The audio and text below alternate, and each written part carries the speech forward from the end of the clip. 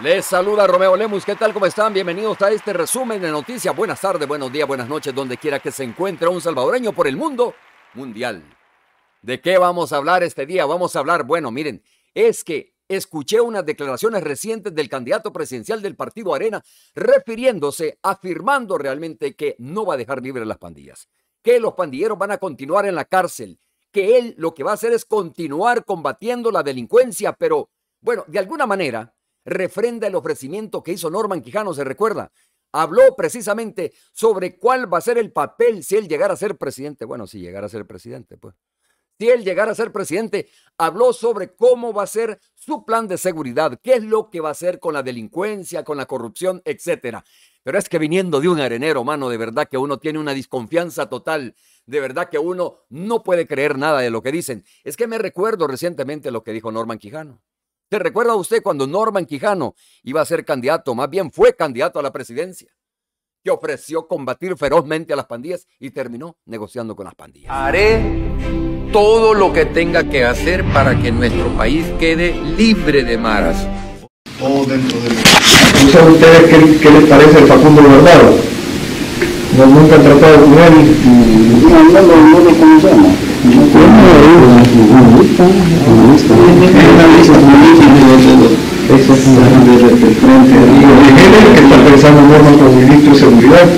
Las maras están en la cárcel y seguirán en la cárcel en mi gobierno. Bueno, vamos a hablar de eso.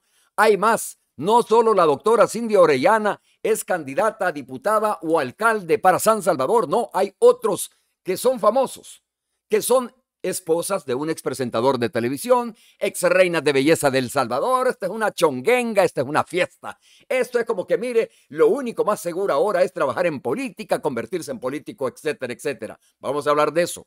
Vamos a hablar también sobre dos nuevos enjuiciados del partido Frente Farabundo Martí. Bienvenidos a Romeo Lemus News. Comenzamos con las informaciones. Ese primo.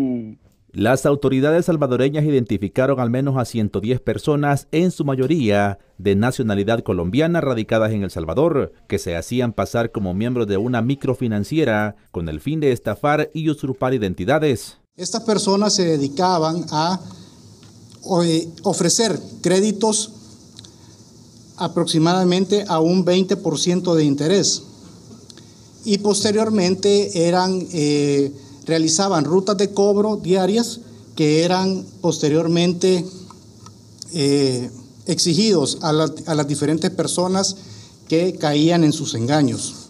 El fiscal general de la República detalló que el dinero recolectado de las estafas informáticas era transferido a cuentas bancarias con usurpación de identidad para posteriormente ser enviado a Colombia y otros destinos. Hasta la fecha se han remesado en el periodo del año 2021 a la fecha se han remesado hacia Colombia aproximadamente más de 20 millones de dólares. El modus operandi de los reclutadores y coordinadores de esta estructura criminal era aliarse con el remanente de las pandillas para, a través de la fuerza bruta y amenazas de muerte, obtener las identidades y cuentas bancarias de sus víctimas. Trataban de obtener el número de cuenta bancaria, las eh, los números de tarjetas de, de crédito y, y, un DUI. O sea, seleccionaban a las, a las personas por las cuales ellos iban a, aparte de hacer las transferencias, también hacer eh, las estafas. El ministro de Justicia y Seguridad reafirmó que todo el peso de la ley será aplicado sobre quienes actúen con base a intereses oscuros y que en El Salvador no hay cabida para criminales. No estamos limpiando este país para que este tipo de criminales vengan acá a El Salvador a realizar actividades en contra de los salvadoreños. La Dirección General de Migración y Extranjería tiene un rol activo en este proceso de investigación que facilita el trabajo de las autoridades para dar con el paradero de esta organización criminal y llevarlos ante la justicia. Estamos cuidando nuestro país y estamos cuidando a todos los salvadoreños que puedan ser atacados por estas bandas criminales. Las autoridades salvadoreñas también ordenaron a los más de 400 colombianos con estatus migratorio irregular que integren toda estructura criminal, abandonar el país en las próximas 72 horas. De lo contrario, serán sometidos ante la justicia.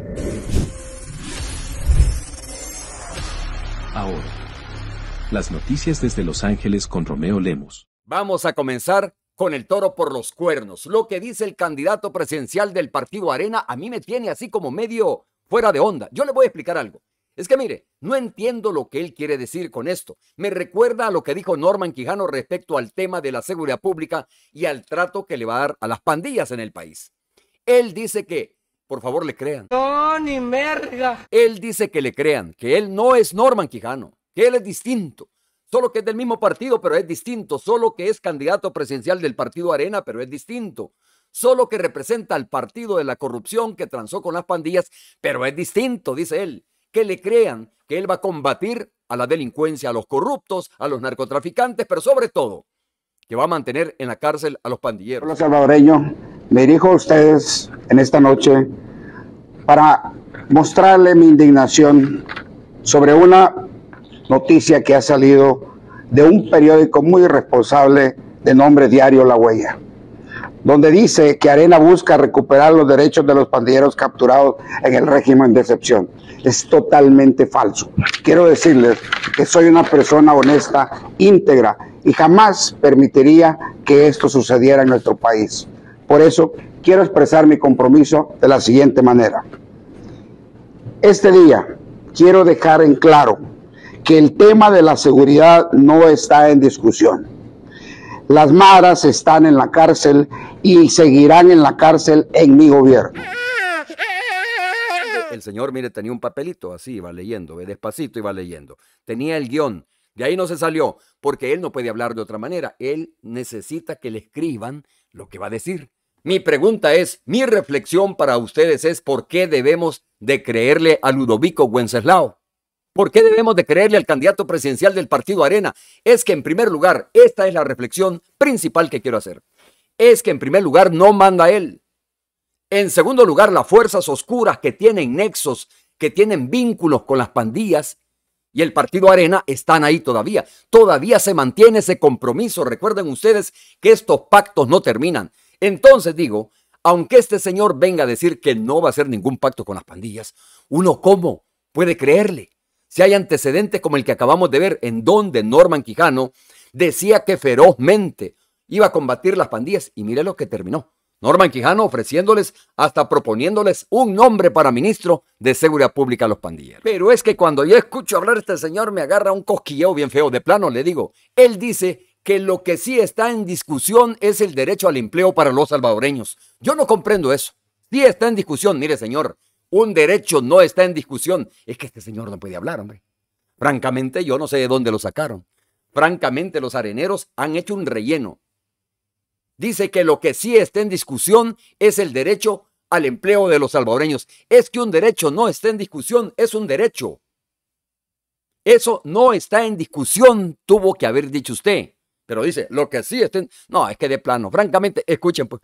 Lo que sí está en discusión son los derechos de los salvadoreños a tener trabajo. Que sea torpe no importa, vamos a ponerle buenos asesores. Que sea torpe no importa, vamos a ponerle buenos asesores. Eso es lo que yo no entiendo. ¿Cómo va a estar en discusión un derecho? Un derecho es un derecho. ¿Va a estar en discusión el derecho a la vida? ¿Va a estar en discusión el derecho a la salud? ¿Va a estar en discusión el derecho al trabajo? No, es un derecho consagrado incluso en la Constitución de la República, señor candidato presidencial Ludovico ubíquese, ponga los pies sobre la tierra. Esas son las cosas que delatan a estos candidatos de plástico, de espuma, de pacotilla, que no saben prácticamente qué es lo que significan los conceptos. Y él tiene una empresa, entiendo, y tiene empleados a varios trabajadores y no sabe manejar ese término. Miren, hoy todos aparecieron en las entrevistas de radio y televisión. Apareció también el chino Manuel Flores en TCS con Moisés Urbina, hablando justamente sobre lo que se le viene al presidente de la República, Nayib Bukele, lo que se le viene encima, pues, al candidato de Nuevas Ideas. Cinco dedos de la mano son distintos. Lo sospeché desde un principio. Pero cuando se aprietan es un puño que puede transformar cualquier cosa. Eso es el frente. Hay diferencias, hay opiniones que pueden, digamos, tener aspectos no coincidentes, sin embargo, estamos en el mismo partido, nos cobijan nuestros propios estatutos, nuestra carta de principios y, por supuesto, nuestra historia. El chino Manuel Flores dice que van a enfrentar al candidato de nuevas ideas con sus reglas en su cancha y con su árbitro. El árbitro no lo puso el presidente de la República, Nayib Bukele. Las reglas ya están en la Constitución y en el Código Electoral. pero dice que van a utilizar al Mágico González, o más bien que van a utilizar la culebra macheteada. Así como así el Mágico González, la culebrita macheteada. ¡Qué paloma! Yo le pregunto, ¿usted cree que el Jocoro de Morazán va a golear al Barcelona? ¿Usted cree que el Jocoro de Morazán, con todo respeto, va a golear al Real Madrid?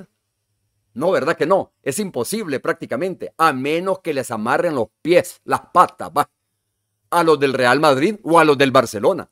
A menos que suceda eso, a menos que solo esté el portero en el Barcelona y el Real Madrid, pudiese golear el Jocoro de Morazán. Esa es la única manera de cómo el FMLN o el Partido Arena, que es la misma miasma, pudieran ganarle a Nuevas Ideas y al candidato presidencial de Nuevas Ideas en las próximas elecciones. Eso, de nuevo, no me lo invento yo, señores. Eso lo dicen las encuestas. Y yo esta historia de los que van abajo, de los que tienen los números en contra, ya la vengo escuchando desde hace años, desde que yo comencé a trabajar en periodismo, vengo escuchando que los perdedores dicen, vamos a ganar. Bueno, no se acuerdan de la gran remontada que iba a dar el FMLN. O sea, y algunos se lo creyeron. Ese es el mismo sistema, la misma psicología que están utilizando estos. Vaya, mejor háganle caso a Ruth Eleonor Rodríguez, esta señora que trabajó para el FMLN, que entiendo que es del FMLN también. Ahí coincido con ella, mire. Yo estoy de acuerdo. Yo dije, jamás voy a estar de acuerdo con alguien de izquierda de hoy en adelante. Porque son farsantes mentirosos. No, fíjese que sí es que ella les da un buen consejo, solo que estos burros no le van a agarrar ese consejo. Yo creo que claro, es como cuando tenemos una cancha de fútbol, ¿verdad? Tenemos, ya hemos hablado del árbitro, este, que, que además favorece a uno de los contendientes, pero además ese árbitro lo pongo yo, lo pago yo, etcétera, eh, cubro a todos sus familiares y tal. Bueno, y entonces, por supuesto, el árbitro va a responder a los intereses de uno de los Mire, equipos. señora Ruth Eleonor Rodríguez, creo que es cubana, ¿no? No, no sé. Y creo que así se llama. Bueno, tampoco lo sé. Mire, este árbitro no lo puso esta Asamblea Legislativa. Los magistrados del Tribunal Supremo Electoral no lo puso este gobierno. No lo puso esta Asamblea. Lo puso el FMLN y el Partido Arena. Ustedes lo pusieron. Este árbitro no pertenece ni responde a los intereses de Nuevas Ideas, ni del actual presidente, ni del futuro candidato de Nuevas Ideas. Lo pusieron ustedes. Lo que no ha hecho Nuevas Ideas es quitarlos. Por otro lado, también apareció Lorena Peña. Lorena Peña, que también está remetiendo, que está diciendo que lo que hay que hacer es que todavía hay tiempo, dice, para sacar al actual presidente de la República, prácticamente para desbancar al presidente de la República. Que hay tiempo para reorganizarse. No, si ustedes pueden tener 5 o 10 años más, si no se van a reorganizar por una simple y sencilla razón.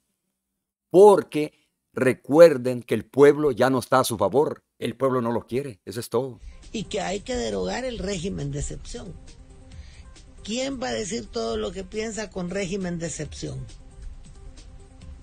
¿Qué seguridad tiene la gente de que no la van a ir a traer del pelo si detectan en, eh, que en alguna encuesta dio X o Y respuesta? Pero mientras eso no le pasa a la población, avala. Amigos, quiero contarles también que dos exdirigentes del partido Frente Farabundo Martí están siendo sometidos a juicios por enriquecimiento ilícito Medardo González y Benito Lara. Hoy día comparece la Unidad de Corrupción de Fiscalía General de la República a la audiencia programada, a la audiencia preparatoria programada en el proceso civil de enriquecimiento ilícito de funcionario público. En este caso es el señor Medardo González Trejo y su núcleo familiar compuesto por su cónyuge y sus dos hijos.